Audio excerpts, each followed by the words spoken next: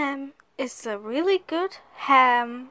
It tastes like uh, it tastes like ham, but actually, more idiots like me think that spam is actually chat spam stuff like that, and